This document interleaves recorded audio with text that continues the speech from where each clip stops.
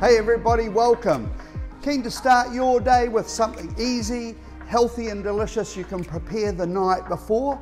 Well, I'm going to show you how to make overnight oat recipes. First is an overnight oat pina colada. Think of it as a tropical taste bud vacation with no quarantine or any chance of missing your flight. Let's get started. Start with the steel cut oats, just one cup going in. Coconut milk, one cup.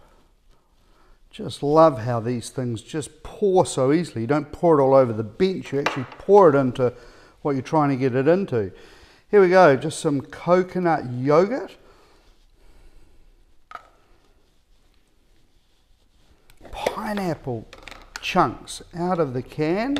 You can use fresh, but if you're going to use fresh, do it the night before and eat it the next day because there's an enzyme in there that will make it bitter. If you use can, you don't have that problem because it's actually taken out. Taken out. First time using this gadget. Far out, it's good, right? Now I could get used to that. How cool is that? Look, munched up just like that and one tiny thing to wash.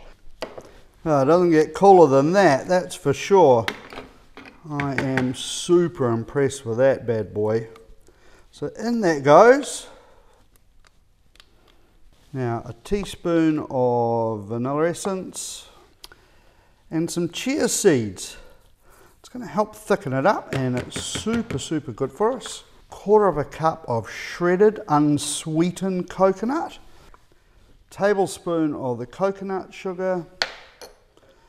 Don't forget, it's easy to forget this, just a pinch of salt in there. Now we'll give this a mix up.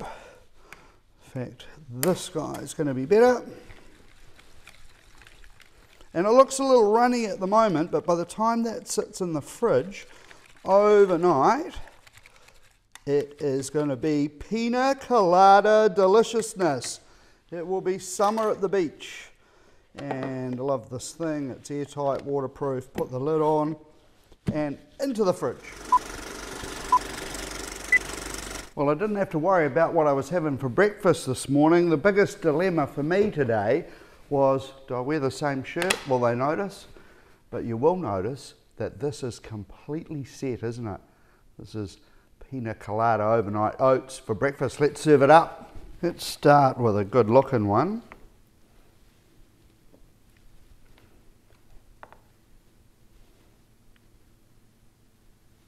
First off, because I love Brazil nuts, and interestingly, two Brazil nuts a day is our daily dose of selenium.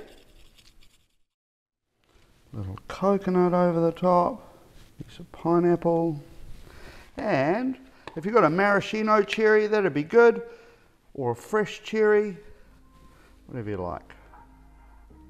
If I'm going to take it with me to work, I grab a dish that I can seal and be airtight, watertight. Try not to spill it everywhere. And off to work I go, if I wasn't locked down.